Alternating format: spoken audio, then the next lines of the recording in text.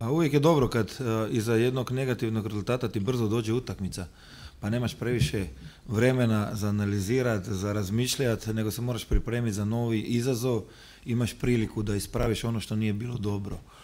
Uh, u kupu je važno da se prođe u sljedeću rundu i to je naš cilj.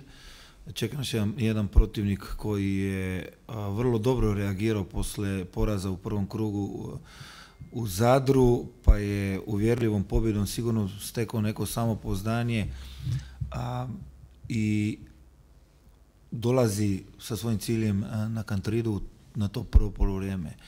Mene veseli da ćemo konačno igrati, igrat ćemo sigurno, pa makar balvani padali dole, ali tako da a, konačno se predstavimo i u Rijeci, dugo već nismo bili na svom terenu i od mene dalje na svih nas je da ispravimo ono što nije bilo dobro.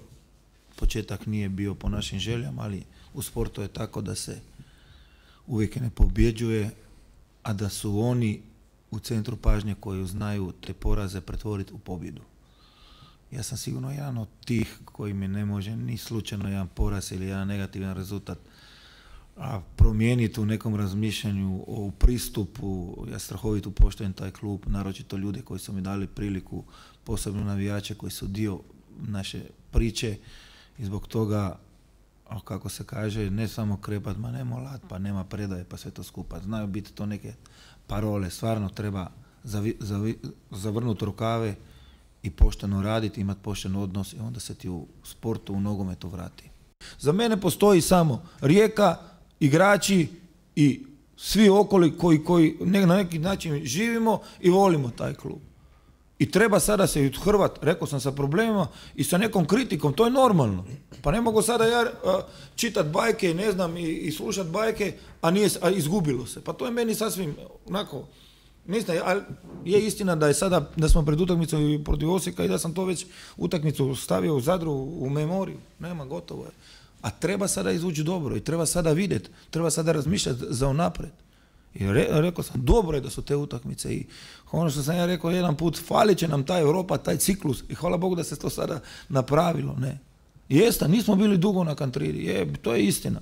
Ne igramo lepršavo, ne igramo tika taka, nemamo 350 dodira da dođemo do gola.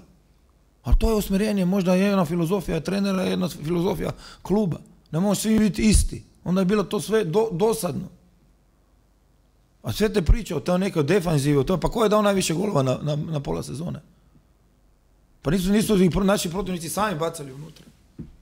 Ili da ne znam, neke kontre, to se skupa kad to se sluša. Zato pred igračima je postavljen jasan zadatak, biti bolji u dvije utakmice. Poštovati protivnika koji je, koji zna, koji ima kvalitetu, koji se bori isto za, za svoju pošteno se bori da, da preživi i u prvenstvu i u kupu. Ko ne bi volio doći do finala? Svi mi, svi klubovi.